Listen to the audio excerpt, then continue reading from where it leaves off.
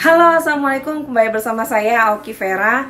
Di sini saya ingin mengucapkan terima kasih banyak kepada para donatur yang sudah bergabung bersama kami dan uh, tentu saja kepada eh, kawan-kawan uh, yang sudah langsung bergerak di lapangan. Terima kasih banyak Kak Sarah dan Bang Vicky, uh, youtuber kita. Sekali lagi, uh, saya cuma bisa mengucapkan terima kasih, terima kasih dan terima kasih kepada semuanya.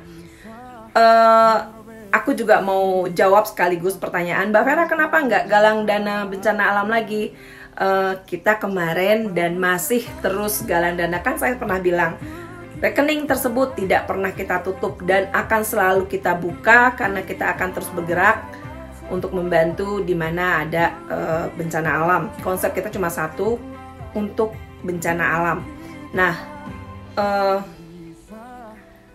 Kemarin kita sudah kirim ke kantor diaspora NTT. Jadi buat teman-teman yang uh, eh, WA maupun DM menanyakan, tetap kita masih tetap membuka rekening tersebut dan nanti akan saya lampirkan rekening Kak Sarah, rekening uh, yang kita pakai sekarang ini. Sekaligus di sini saya ingin meluruskan ada satu uh, yang bertanya, Mbak Vera, kenapa rekeningnya dipindahin dari rekening Ibu Haji Nayo ke rekening Kak Sarah?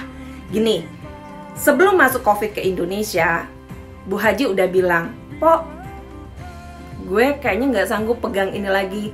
Cariin orang dong penggantinya karena gue mau ngurusin anak gue hamil lagi bentar lagi gue harus ngurusin cucu baru gue akan bolak balik repot ke rumah anak gue nah seperti itu waktu itu pembicaraan antara ibu haji saya dan mbak Irma waktu itu kita berkali-kali menahan Ibu Haji. Tunggu sebentar ya Bu Haji, tunggu sebentar sampai kita dapat penggantinya.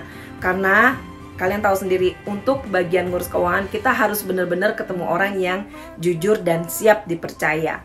Akhirnya begitu masuk COVID, Bu Haji cucunya lahir, Bu Haji nggak bisa bolak-balik ke ATM, kita ngeri juga ya. Nanti Bu Haji bolak-balik uh, apa ke ATM, uh, eh, di sana kena COVID, kita nggak tahu kan kayak gimana karena Bu Haji nggak mau pakai m-banking. Akhirnya kita pindahin ke rekening yang sekarang dipegang sama Kak Sarah. Jadi kronologinya pindah rekening itu seperti itu. Buat kalian yang masih bertanya saya sudah jawab pertanyaan kalian di sini.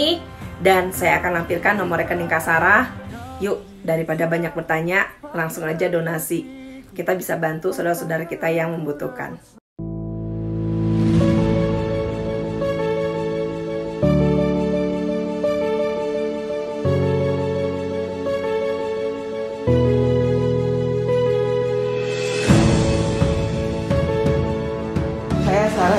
Wijanarko, saya juga mewakili Augie Vera dan seluruh donasi yang tergabung di kelompok uh, uh, sahabat Augie Vera juga menyampaikan salam kami buat semua saudara-saudara yang ada di NTT di sana. Mudah-mudahan mereka tetap sabar dan Amin. segera dapat tertolong. Terima kasih banyak Ibu. Boleh kita tukar-tukar ini Bu? Boleh. Tukar ya Bu. Ya. Terima kasih. Baik, sampai ketemu. Terima kasih. Kami dari panitia mengucapkan terima kasih kepada Bingkai Bineka Nusantara yang sudah turut partisipasi membantu saudara kita semua yang ada di uh, NTT. Semoga apa yang bisa membanggakan dari Bingkai Bineka Nusantara bermanfaat bagi kita semua dan terutama saudara kita yang ada di NTT. Terima kasih.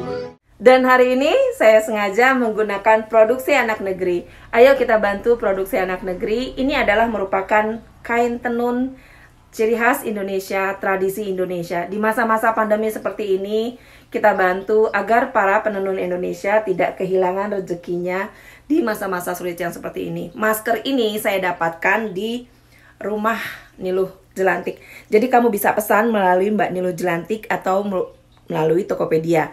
Sedangkan pakaian yang saya gunakan ini adalah kain tenun asli NTT yang dibuatkan oleh Mbak Nani Rahmat.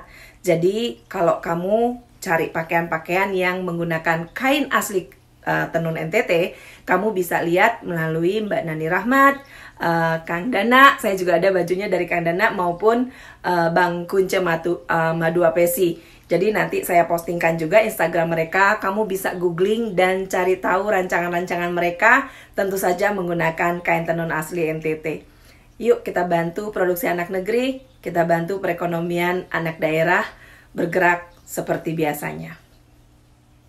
Assalamualaikum.